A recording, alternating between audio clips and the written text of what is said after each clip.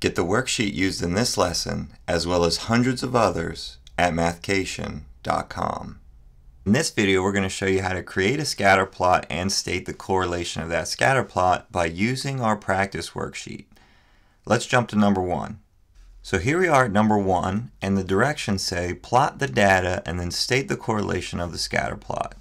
So in order to do this, what we have to do is we have to take the numbers from our tables here and we have to plot them into our graph and create a scatter plot. So if you look at our table, all of our x coordinates or all of our x values here will translate into x coordinates along the x axis, which is the horizontal axis.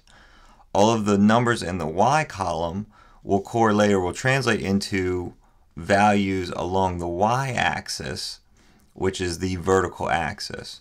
So in the case of our first coordinate, which is right here, and it's x is 1, y is 0, or the coordinate 1, 0, that means our x value is 1, so our x value is right here, and then our y value is 0, so we will go over 1 on the x-axis, and we will stay at 0 for the y-axis. So that's our first point right there.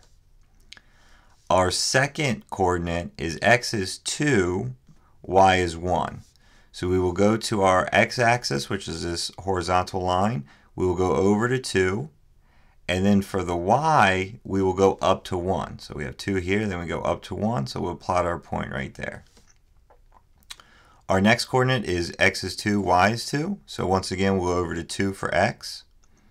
But this time we will go up to 2 for y.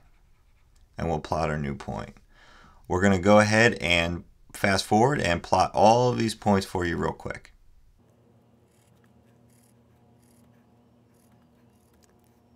Our data is now plotted into our scatter plot, so now we have our scatter plot, and this is the visual representation of the data that's located in this table.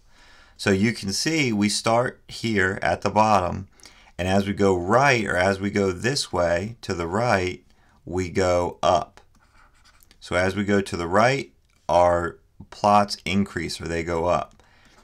When we talk about the correlation, the correlation can either be one of three things. It can have a positive correlation, a negative correlation, or no correlation or none. So we'll say none. Okay.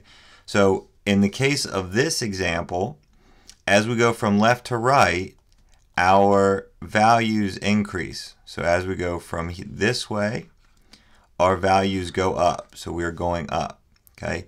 Because we are going up, that means the correlation between these two would be positive. So our answer is positive. If we were going down, or if as we went from left to right, if we went down, that would be negative. And then if there was no pattern, if it didn't look like there was any pattern, that would be none. But in the case of this example, our answer is positive, or a positive correlation. If you found this video helpful, make sure you drop a like, subscribe to our channel, or check out our website for more premium math content. Thanks for watching.